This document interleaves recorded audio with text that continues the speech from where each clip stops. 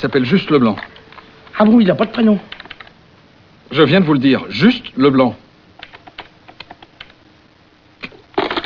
Leblanc, c'est son nom, et c'est juste son prénom. Hum. Euh, Monsieur Pignon, votre prénom à vous, c'est François, c'est juste Oui. Eh bien, lui, c'est pareil, c'est juste. Bon, on a assez perdu de temps comme ça.